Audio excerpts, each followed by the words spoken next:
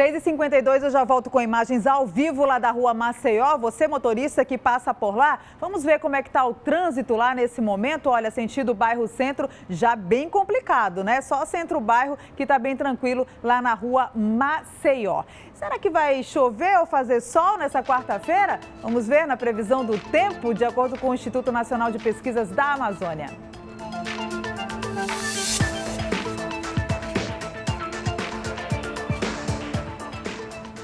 Em Manaus, a previsão é de chuva com trovoadas, mínima 24, máxima 34 graus. Lá em Manaquiri também tem chuva, mínima 24, máxima 35 graus.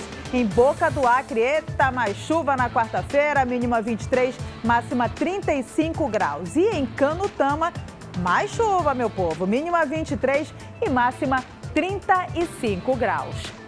Os pacientes da rede pública municipal de saúde agora vão poder consultar aí resultados de exames por meio da internet. Veja na reportagem.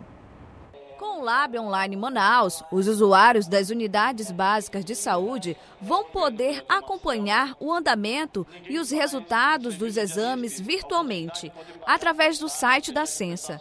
Os pacientes vão receber um localizador e uma senha que permite o acesso e a solicitação de exames. Downloads de laudos médicos também estão disponíveis. Eu fico muito feliz com o nível de organização que está chegando à nossa Secretaria de Saúde.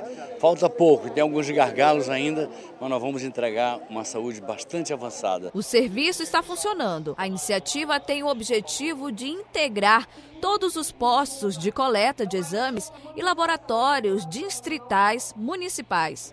Segundo o secretário municipal de saúde, Marcelo Magaldi, os laboratórios realizam anualmente cerca de 3 milhões de exames. Nossos laboratórios são certificados como excelência, ou seja, o maior nível. Isso nos enche de orgulho, porque a gente tem certeza que está prestando um serviço de qualidade para a população de Manaus. Na oportunidade, o prefeito Arthur Neto aproveitou para falar sobre a campanha Setembro Amarelo e motivar o combate à depressão.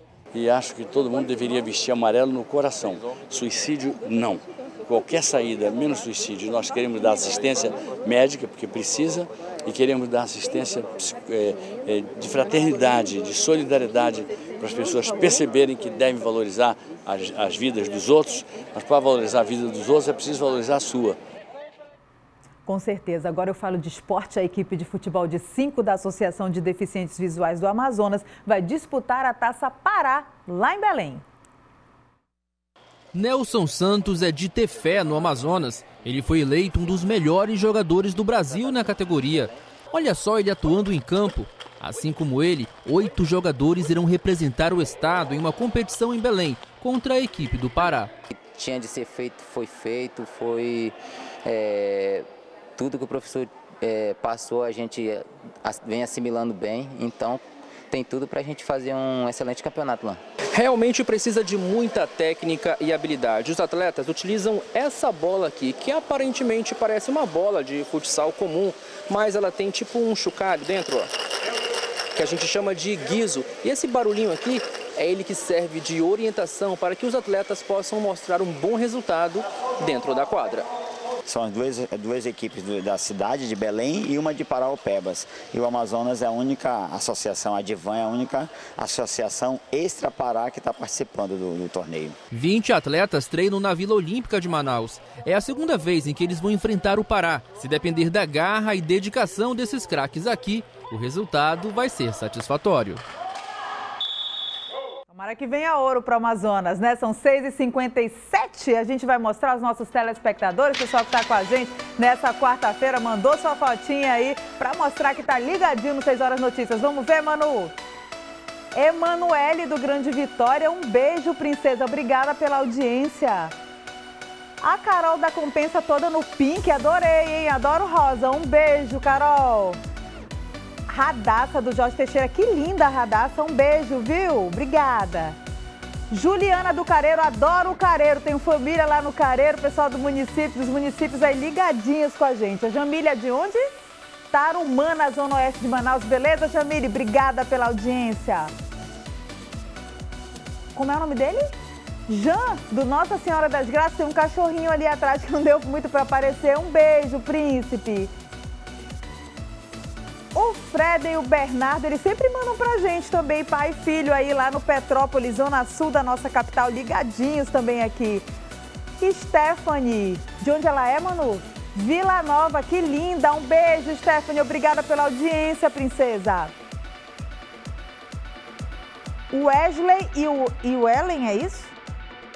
Da AM070 também com a gente, estão no shopping ali, né? Que foto bonita, gostei. O Rony lá do Iranduba, Iranduba tá sempre com a gente na região metropolitana de Manaus. Um beijo, Rony. A Radassa do Cidade Deus, é isso? Um beijo, princesa. Camille e Miguel lá, Samile e Miguel lá no Zumbi dos Palmares. Que linda, hein? Adorei. Um beijo. A Laurinha toda no laço já para ir para a escola lá no Viver Melhor, Zona Norte de Manaus. Um beijo, Laurinha. A Aninha do Monte Sinai também toda linda para ir para a escola. Obrigada pela audiência. A gente vai passando as fotos aí dos nossos telespectadores, porque tem muita gente, olha, o povo até no hospital manda foto pra gente. Gostei, obrigada pela audiência, obrigada pela companhia, viu? Eu vou ver mais um vídeo também agora da nossa campanha para eu saber o que você quer pro futuro de Manaus.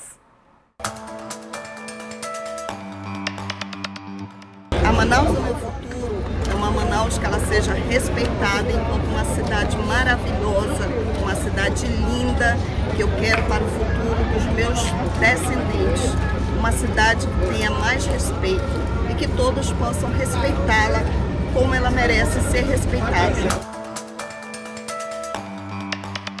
Participe você também. Manda para mim aí com o celular deitadinho assim, ó, horizontal, tá? Não é em pé não, é deitadinho na horizontal. Tá aí nesse número de WhatsApp que aparece na sua tela, é o mesmo número que você manda suas fotos, 993276649 que a gente vai mostrando aí até o aniversário de Manaus. Muito obrigada pela companhia, ó. Um beijo para você e eu te espero amanhã ao vivo a partir das 6 da manhã. Até lá.